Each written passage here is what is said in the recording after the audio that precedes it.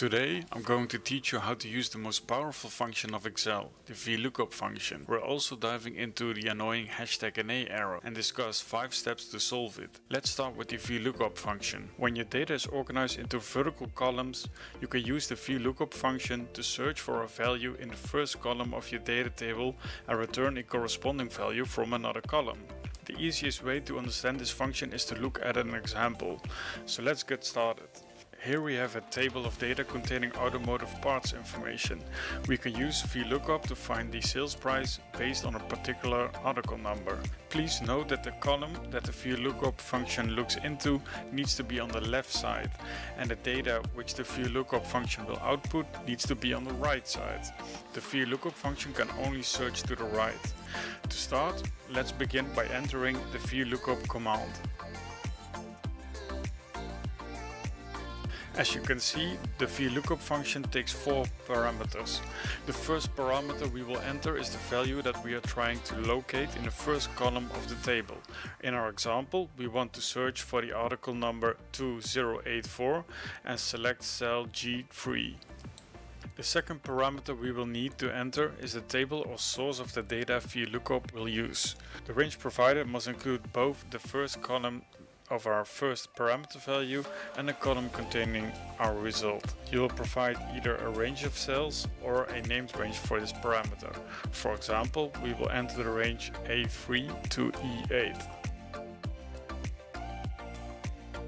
The third parameter we must enter is the position number in the table where the return value can be found. A value of 1 indicates the first column in the table, a value of 2 indicates the second column and so on.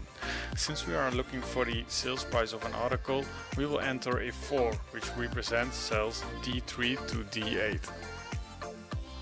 Finally and most importantly is VLOOKUP's fourth parameter. This parameter determines whether an exact match or an approximate match will be done when looking for the first parameter. A value of false means that the VLOOKUP is looking for an exact match. A value of true means that an approximate or close match will be returned. Unless you have a specific reason for looking for an approximate match, you should always use false to return an exact match. Otherwise the VLOOKUP could return some unexpected results.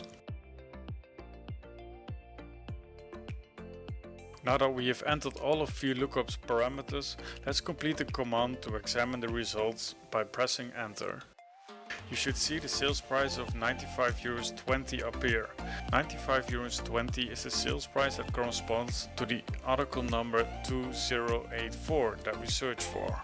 This shows a simple example of how to use Excel's VLOOKUP function. Sometimes you run into errors with the VLOOKUP function and I'm going to show you how to fix those next. When you arrive here you probably have some trouble using the VLOOKUP function in Excel and are getting the annoying hashtag NA error.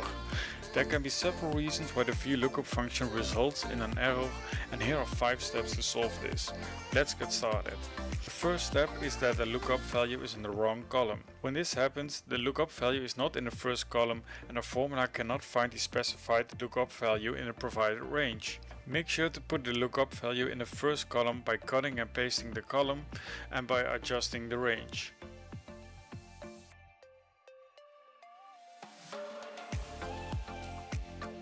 But first, do you want to know more about how to use the most powerful functions in Excel? Subscribe to our channel for more. The second step is incorrect number formatting. Issues with formatting can occur when importing data from external databases or copying the data from an external spreadsheet. To see if your data is reading as text, check if it has the arrow symbol, see the green triangle in the upper left corner of the cell. You can fix this by clicking the arrow indicator and by hitting convert to number. Another way to solve this for large spreadsheets is to select the column, go to the Data tab, click Text to Columns, choose Delimited, choose Tab, choose General and click Finish. As you can see here. The third step is not locking the data range. I have changed the range from the columns to a specific range of cells as you can see here. When you copy down the VLOOKUP function, the NA error will show up. This happens because the data range is not locked. When using a specific range and copying down the formula, the data range changes as well. A way to fix this is to put dollar signs for the column or row you want to lock in the formula. You can use the F4 button on your keyboard as well.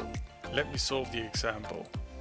So you go to the formula, you press F4, you press F4 again, enter and copy down the formula. Step 4 is putting the range lookup on true and get an approximate match. I've changed the order from ascending to descending over here and put the VLOOKUP function range lookup on true.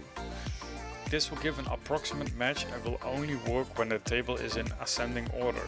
The best way to solve this is to put the VLOOKUP function on false for an exact match which will be appropriate for most situations. The last solution is that the resulting error can actually be a valid error, meaning that there is no lookup value in the table you are searching.